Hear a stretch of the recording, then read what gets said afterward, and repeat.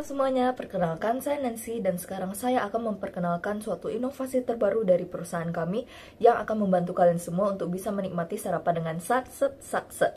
Sebelumnya, menurut kalian masih zaman gak sih makan roti panggang pakai butter tapi butternya itu masih dioles pakai sendok? Waduh, rasanya uh, kurang efisien gitu ya.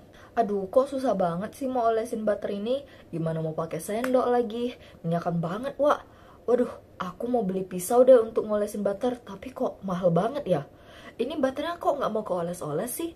Aku udah telat tahu buat kerja. Kalian pasti pernah dong berada di posisi itu. Ketika kalian mau sarapan, kalian lapar, tapi malah butternya nggak mau diajak bekerja sama.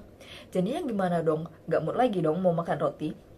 Nah, gara-gara permasalahan itu, tim kami mendapatkan suatu inspirasi untuk membuat satu produk yang kami beri nama Stickit. Stickit ini adalah satu kesatuan butter beserta packagingnya yang berbentuk simpel namun juga elegan. Berdasarkan data dari BPS tahun 2021, konsumsi roti tawar dan juga roti manis oleh masyarakat Indonesia itu bisa mencapai 3,01 kg per kapita per tahunnya loh. Dan pada tahun 2023 pada bulan November ini, Indonesia sudah mengkonsumsi sebesar 4,7 kg per kapita. Lumayan banget gak sih? Berkat hal ini, kami yakin bahwa Stickit dapat membawa banyak kemudahan untuk para pecinta roti di luar sana. Dengan estimasi profit sebesar 5.000 per sticknya, Stickit diharapkan dapat menjadi perusahaan yang tidak hanya menjual belikan produk, namun juga memberikan kesempatan bagi para customer untuk bisa berkontribusi dalam penjagaan kelestarian bumi. Sekarang sih memang ada ya beberapa e-commerce yang menyediakan produk butter berbentuk stick.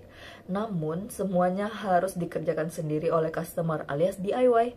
Wah, kerja tambahan lagi dong. Maka dari itu kami buatlah pembeda dari produk kami ini dengan memfokuskan experience yang akan dirasakan oleh customer ketika telah memiliki stiket tersebut. Beberapa fitur spesial yang akan kami tambahkan adalah pertama futuristic. Bentuk packaging kami itu disuguhkan tidak lagi terasa jadul dan cocok dibawa ke mana aja.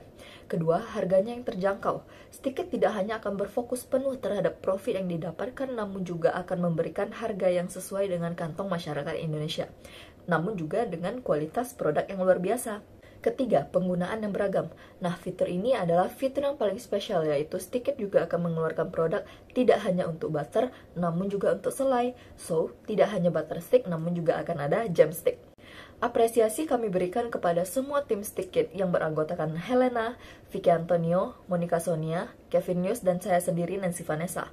Berkat kerjasama tim yang baik, Stickit dapat memberikan produk terbaik bagi para customer Indonesia. Spread the joy, our sticks, the secret ingredient to every delicious moment. Sekian dari saya, Nancy Vanessa, dan juga Stickit. Terima kasih.